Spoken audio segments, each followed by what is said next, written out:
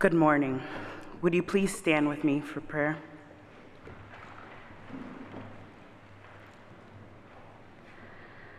Father God, thank you so much for this Sabbath day. Thank you for being here with all of us.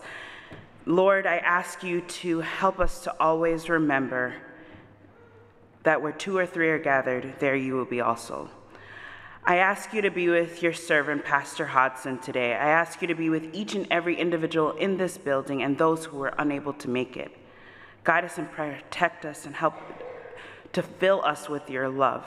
In Jesus' name I pray. Amen. Please join me for the call to worship. I will read the light print, and will you read the dark print with me? Come and celebrate, people of God. Sing and shout your praise. For our God comes to us, triumphant and victorious, yet gentle and humble of heart. He comes and brings peace, offering hope, freedom to all who despair. Let us worship God. Please have a seat.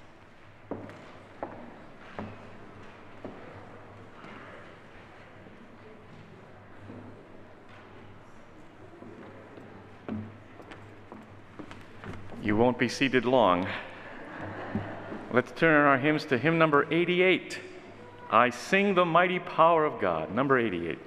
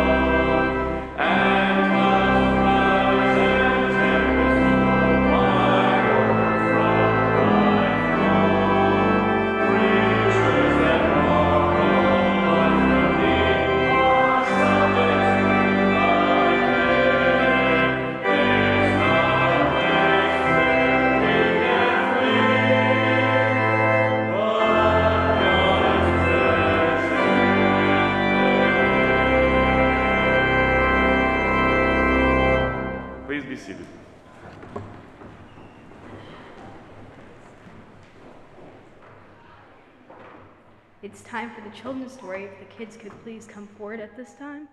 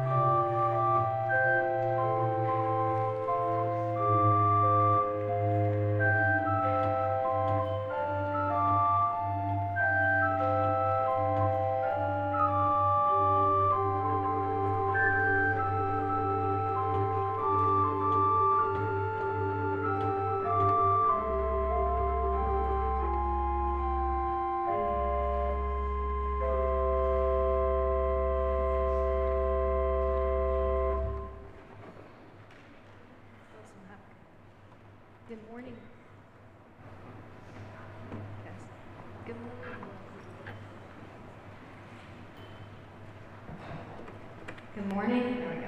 Good morning, boys and girls. I'm so happy you came up to join me for a story today. Now, my story comes from when I was playing a sport. My sport is I run cross country. So every day, my teammates and I will run three, four miles to prepare. And then we'll go to a different school or to our own school and we'll run three miles against them to see who can run faster and to try to get our best time. Well, one day, my friends and I went to a different school and we were going to have a meet against them. And before each of our meets, we'll walk the other team's course so we know what we're supposed to run. And as we were walking this meet, I look around and I notice this place isn't very well marked. It's kind of hard to tell where you're going. So I started taking mental notes so I know where to go. When we started the race, and today we had three girls running, right? Myself and my two teammates. And one of my teammates was always ahead of me because she's so fast. She's really good. And as I'm running, I notice she's not ahead of me. I don't see her. But I didn't start to think much of it because usually she is far enough ahead of me that I don't notice. But as I'm running up one of the hills, my coach stops me to talk to me and says, Have you seen my teammate? And I said, No, I haven't seen her. I thought she's ahead of me. So I kept running and I didn't think much of it because I thought she was enough ahead of me. And as I was about to finish, another one of the girls from our school who had come to watch us says to me, Have you seen my, t- my teammate's name? And I told him, No, she's ahead of me because I thought she was ahead of me. She's a fast runner. And I finish, and my mom walks up to me and says, Good job, you were the first one to finish from your team. And I got confused. Like, Didn't the other teammate finish before me? She said, No, she hasn't got here yet. And I started to worry because she always comes before me. And then the third teammate comes, and she's still not there. And I went up to my coach and I said, This person isn't here. Where is she? So we started looking and we started searching. We go up to the other team's coach and we say, So and so isn't here. Where have you seen her? Where is she? Oh, she'll be fine. She's probably just confused. She'll get here. No, she isn't here. You don't understand. She should be here. She'll be fine. So we all set out and we're, we're taking our cars and the other team's running after her because they know the course better than we do. And we found her. And the good news is that because we were looking so hard, we found her. Well, sometimes when we're in life, we might feel like my teammate did and don't know where you're going. You get confused and you, you get off the track and you're waiting for somebody to come find you. But Jesus isn't going to be like the other team's coach, is he? He's not, oh, they'll be fine, they'll show up eventually. Jesus is going to be like our teammates and the other team who went out searching for her. He's not going to let you get lost like the other coach will. He's going to be like our team and he's going to go find you. No matter where you are, He'll find you. Let's pray. Dear Jesus, sometimes we might feel lost, like my teammate did that day, and not knowing where you're going. But we thank you that you're going to come find us. You're not going to let us be alone and scared. Please help us to always know to call on you when we're afraid and we don't know where we're going. Amen. As we come into our time of congregational prayer, I ask that if you would like to come forward with praises or prayer requests, that you do so at this time. Please stand as we sing our song.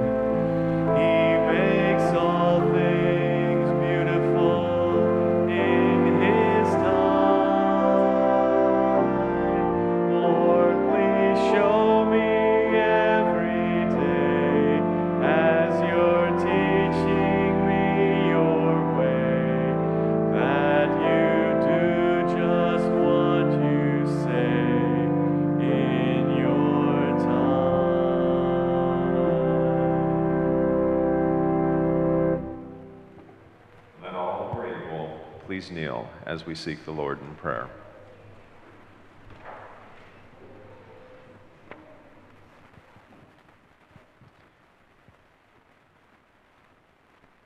Lord, Savior, friend, good morning and thank you for being here with us.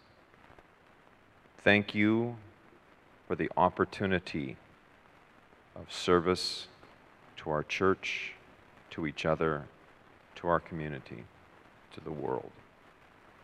Thank you for the sacrifice that you gave for us and showed us that we should give for others. Thank you for the rich blessings we all receive on a daily basis. Thank you for homes, for food, for comfort, for health, for employment, family, friends, freedom. Thank you for forgiveness of sins. Thank you for the fact that you are never more than a word away. Thank you for when we give you our sins and we give you our requests and we give you our praise, that you accept them all and you handle them in the way they need to be handled, not as we would, but as you know needs to take place. Thank you for healing. Thank you for the names that are in the bulletin and the chance we have to pray for them, which we do at this time. And thank you, Lord, that you will once again handle them in the way that they should be.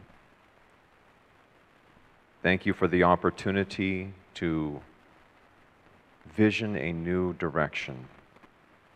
Thank you for the chance to serve in whatever capacity we can as we try to make that a reality that aligns with you. Thank you, Lord Jesus, for this service. Thank you for Kristy and the message that she will share with us. Thank you for the opportunity afterwards to get together in fellowship. Thank you for the week ahead. And thank you for the future that only you know, but you have crafted, and you are ready and willing and able in your time to give to us and to bring us home. Amen.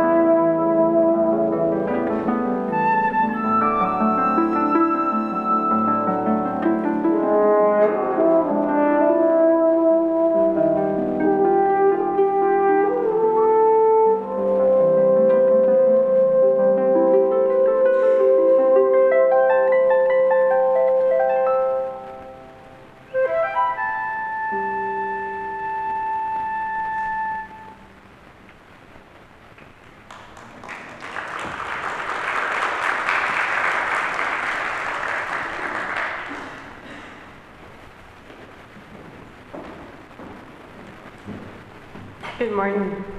Today's scripture reading is Proverbs 22, verse 6, which is found on page 527 in your Pew Bibles. Start children off on the way they should go, and even when they are old, they will not turn from it.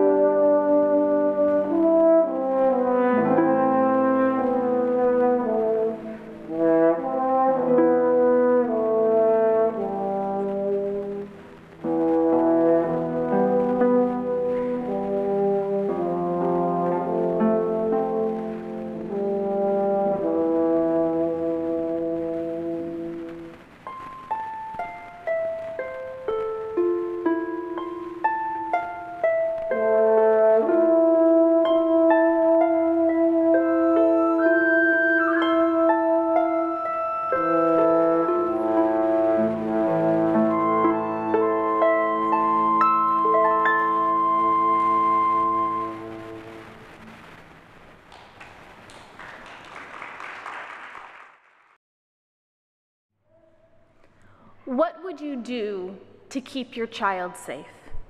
This question, it's just as valid today as it was thousands of years ago for Amram and Jochebed. They were Israelites living in Egypt, enslaved because they were both hated and feared. As their population grew, the fear of the Egyptians grew as well. And in the second book of the Bible, Exodus, the very first chapter there, we read that the fear grew to such a point that Pharaoh called for the mass murder of all newborn baby boys. Now, the Egyptians, of course, were sure that they could find a purpose for all those little girls. But they underestimated the godly resistance of the Israelite midwives and mothers who refused to follow through on their orders. And God continued to bless his people even in their oppression. So Pharaoh decided he would now order his own people to be the ones to throw and get rid of all the Hebrew baby boys. He would throw them into the Nile drowning them. Because you see, Hapi was the Egyptian god of the Nile, the god of fertility and the god of harvest, the god they wanted to bless them and not the Israelites. And these were the circumstances of the day in which Jochebed found herself pregnant for at least the third time. She was already the mother to a little girl, a daughter, and a three year old little boy.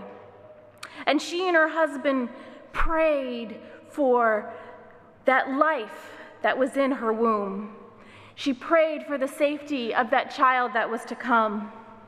So imagine the mix of joy and sorrow when she gave birth to a perfect, beautiful little boy. She had to trust that God had a plan for him, and she hid him in her home because she was not going to let her baby boy drown. But after three months, it got to be too much. So, in faith, this mother built a floating basket for her son and tucked him in the reeds of the Nile. The very river in which Pharaoh wanted to use to kill became a safe haven. Watched over by his, little, by his older sister Miriam, the baby in the basket was soon spotted by the daughter of Pharaoh. She had brought her maids down to the river to bathe, and she saw the basket. When it was opened, they discovered a crying child inside. Not only was it a boy, but it was a Hebrew because he'd most likely been circumcised, so they could tell. But this royal daughter of privilege felt pity for the vulnerable child. She knew that she could not follow through on the commands of her father, and so she resisted, offering faith instead of life, instead of death, offering life. And this child that she would raise to be her own, he would thrive under her protection. But that was not the whole story. Because Miriam saw a chance and she bravely approached this princess of Egypt. She offered the services of a Hebrew woman to nurse the baby. Now, of course, we know the princess was smart enough to figure out that she was offering the services of the baby's mother. And she agreed. Not only would a Hebrew woman nurse the child, she'd be paid to do it as well. And this is more than just feeding the baby that was taking place. This wet nurse was the legal guardian of the baby until it went to live in the palace and the adoption was formalized. There's also a thought that from the breast milk, one's character is passed on. So, this is the character that was going to be passed on to this baby. Now, we don't know how long Moses lived with his family, but we do know that it was long enough for him to understand who the God of heaven was, long enough for him to understand that he was a part of the Hebrew culture. Because even as an adult, after his schooling in the Prince of Egypt, Moses knew that he was a Hebrew. He felt a kinship to these enslaved people, so much so that he ended up killing on their behalf. Moses' story, if you read about his whole life, is a story of ups and downs. He was at times a prince, a killer, a wanderer, a shepherd, and a lost soul. But he was also a prophet, a leader, and a man of God. One of the things that helped him was the foundation that was laid by his family and his faith community. And it's no coincidence that the experiences of Moses that he had as a young child are what drew him back to God later on in his life. According to the Barna Research Group, two thirds of those who accept Jesus as their Savior do so before their 18th birthday. Nearly half of all Americans who have accepted Jesus Christ do it before they turn 13 years old. Additionally, people who become Christians before their teen years are more likely to remain absolutely committed to Christianity. And those who have the biggest impact on a child's acceptance of Christ are those who they spend time with the most. That would kind of make sense.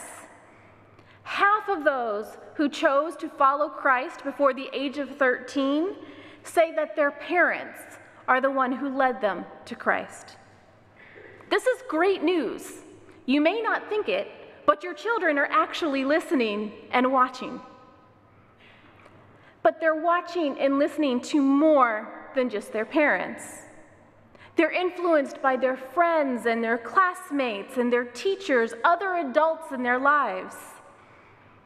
So each one of us has a role to play in the lives of our children those in our families, even those who don't have children like me, have a role to play. With this in mind, I want to ask you a question. Thinking of our children collectively, who is influencing our children? While they're learning about life, a foundation is being built in their lives. Now, this foundation is one that is going to have an impact on what they decide for themselves regarding the role that Jesus will have in their lives. How are we helping to build up that foundation? Are we building it on rock or on sinking sand? One of the influences in the lives of our children, of course, is their education. In the opening chapter of the book Education, Ellen White tells us that true education means more than just the pursual of a certain course of study. It means more than a preparation for the life that now is. It's the harmonious development of the physical, the mental, and the spiritual powers. It prepares the student for the joy of service in this world and for the higher joy of wider service in the world to come. And this is the goal of Adventist education. It's the goal of South Lancaster Academy. I think it's down that way. The faculty, the staff, and the administrators of South Lancaster Academy, they firmly believe that SLA is not their school, it is God's school. And as such, they want to provide a stimulating academic program but also an environment that leads to character and spiritual growth. They're training our kids not just to know about Jesus, but to know him as their friend. They're memorizing multiplication tables and Bible verses, but they are also building a relationship with the creator of the universe. I want to share a little bit of my own story. I went through Adventist education from first grade through college, and then took a break, and 13 years later, went to my Master's of Divinity at Andrews. I started off in a two room schoolhouse, then went to boarding academy, AUC, and Andrews for seminary. I'm going to be honest with you. It wasn't all rainbows and roses. I was bullied in both of my elementary schools, and I didn't always make the right choices. I got suspended in academy because my roommate smoked. I wasn't perfect. And here's a hint I am still not perfect, and I don't know that I ever will be, and I'm okay with that. I actually stopped going to church while I was a student here at AUC. I was tired after going out Friday nights to try to find a way to relieve the stress of school and work. But during that time, I never gave up on God. I just gave up on making time for church. I'd been trained at school, at church, and at home to look at the principles of the Bible. And I never forgot the importance of thinking critically about my spiritual life. Ask anyone, they'll tell you, I don't like to do what I'm told, so I've got to think about it for myself. A rule is made to be broken, right? But I never forgot that it was my choice on my spiritual life. No one else could make that decision for me. And soon I began to feel that something was missing. The Holy Spirit was working in my heart. I began to look for a church home. I missed Sabbath school. I missed sharing and discussing about God and the Bible in a safe space. I'd tried a few churches because I'd moved too far away from college church here. And it took me a while to find one where I fit. But I found it. I was still going out on Friday nights, but I would wake up in time for the 30 minute drive to Sabbath school. And if you know me, I'm not a morning person, so that's really a God thing. And I was lucky because the church that I found, they didn't care that I have multiple tattoos and am not ashamed of them. They didn't care that I have per- pierced ears. What they cared about is what I thought. They cared about me. They wanted to hear my opinions, and they wanted to make a way for me to be involved. And slowly, I made my way back fully to church always keeping in place the critical thinking skills that were essential to my upbringing and my spiritual journey. And when I moved away again, this time to Memphis, my church life stayed intact. Years later, because God has a sense of humor, God brought me back to that accepting church in Stoneham to my new calling as their pastor. And you may think that my story is unique, but it's not. Studies have shown that those who attend more years of an Adventist elementary school were also more likely to still be in church 10 years later. In fact, those who have attended Adventist schools long term are more likely to attend church as an adult on a regular basis as opposed to those who don't. I personally have noticed what I consider a surprising trend at the various schools that I visited, as well as in my friends and former classmates. Many of those who attended Adventist schools and for whatever reason no longer attend an Adventist church themselves are still choosing to send their children to Adventist schools. They understand the importance of laying the foundation for their children for spiritual and moral values, building relationships and bonds that continue long into our lives. Unfortunately, Adventist education is out of reach for many families. Many don't live close enough to an Adventist school. Thankfully, here in South Lancaster, we have an amazing school right here in our community. But another large barrier is expense. Many families simply can't afford the cost of tuition. And it doesn't mean that they don't care, it means that they need help. We're a community that loves our children and we want what's best for them. And that means that all of us need to pitch in. I know that College Church has many of their own issues to deal with, especially now that the campus across the street is a ghost town. The building is aging. Like many other congregations across America, the population is aging and dwindling. But that doesn't have to be the end of the story. And I commend this church for their desire to have as many children as possible at South Lancaster Academy, learning the skills that they need in this world and in the next. When it comes to supporting our children, we all need to step in and step up. First of all, pray for our children. Pray for the families in this church. Pray for the teachers and staff and administration because they have to deal with your children. Pray for our churches. There's so much in this world that distracts us. There's pain and sorrow and hardships that get in the way. And at times, we're not sure how God is going to fix any of these things.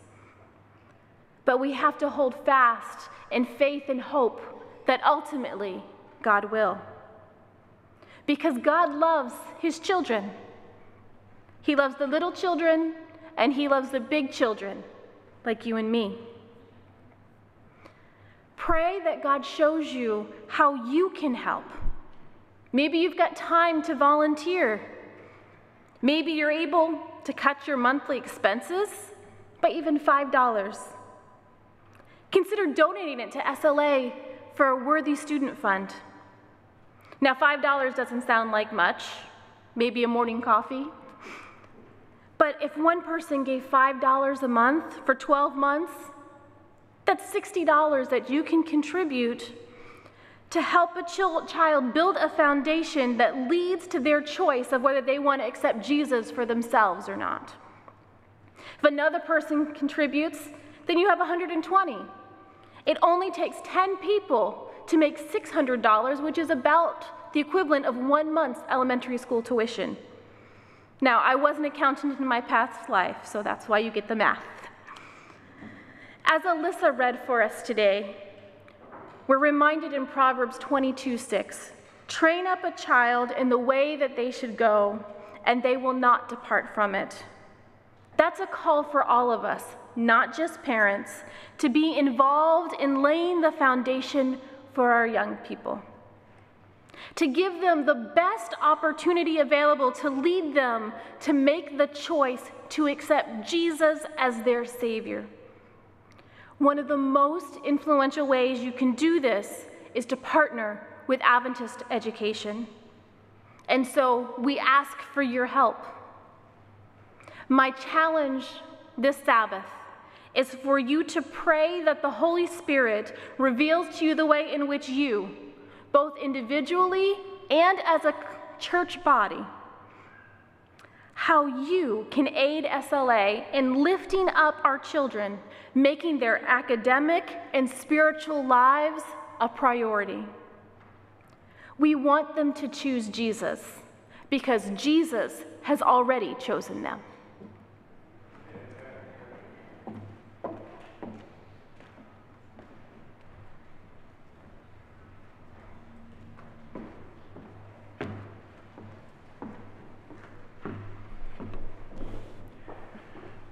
Closing hymn is hymn number 101 Children of the Heavenly Father, 101.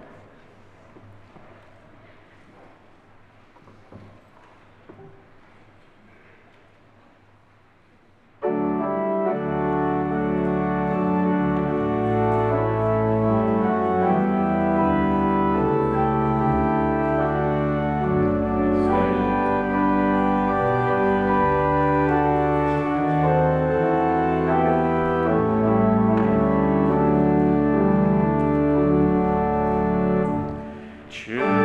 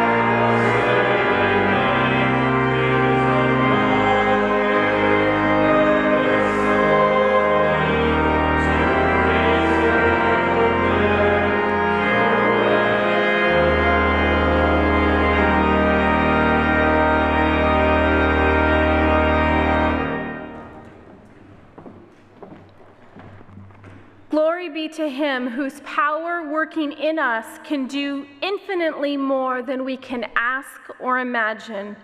Glory be to him from generation to generation in the church and in Christ Jesus forever and ever. Amen.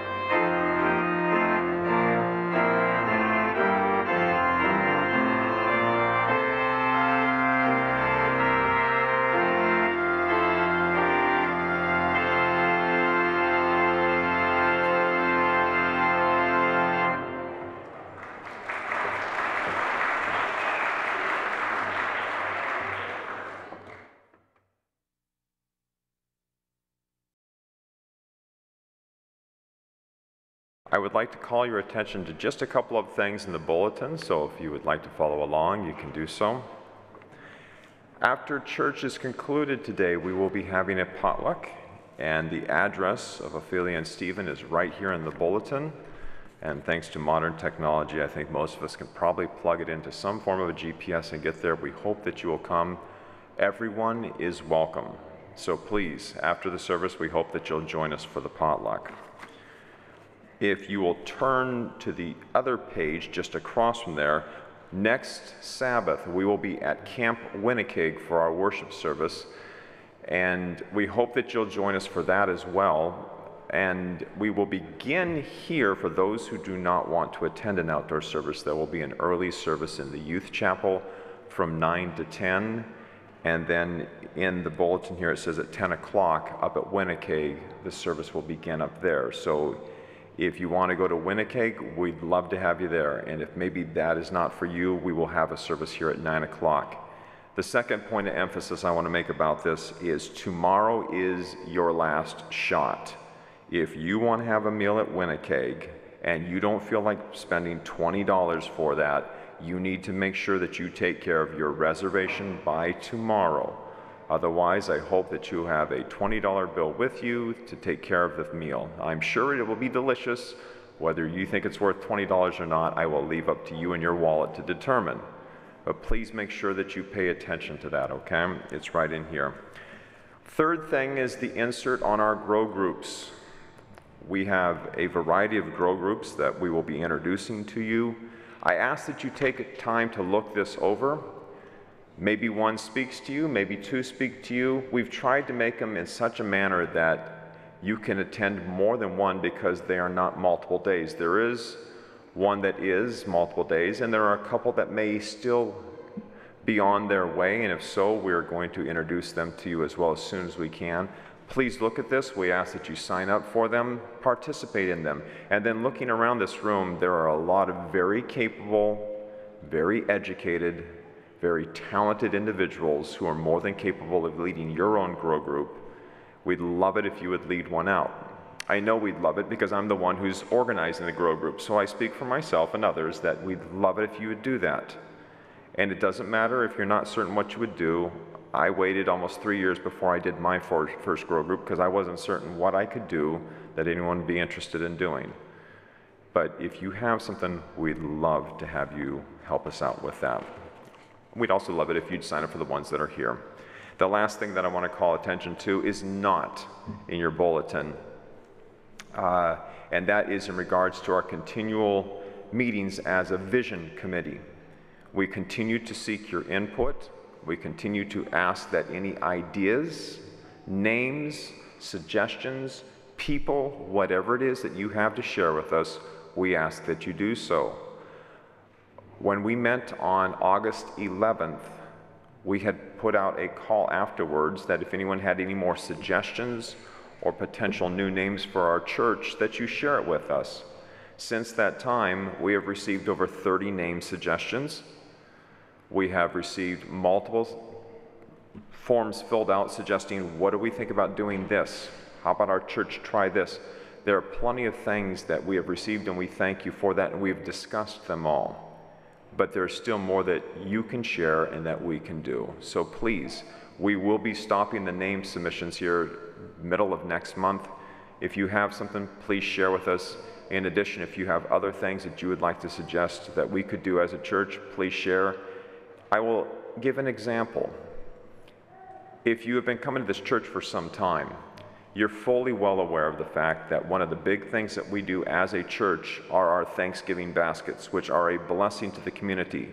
What you may not realize is despite the fact that it runs very smooth, there is still a major need for people to help out. The people who head it up do a wonderful job. They are not the only ones who can do that job. They need your help. They need my help. They need all of our help. That's just one small way we can help out. We all know what it's like to pick something up by ourselves. If it's 100 pounds, it's heavy. If 10 people pick it up together, provided it's a long 100 pounds, it's a lot easier. If you have a chance to help out, we ask that you do so. And if you're wondering where you can, myself, anyone on the Vision Committee, anyone involved with the Thanksgiving baskets, anyone can talk to you about that. This is the, not the last you'll hear of it, and we hope this is not the last you'll think of it. We need your help. Once again, we're very grateful that you are here at our worship service this morning, and we pray the Lord's blessing on each one of us as we participate in it.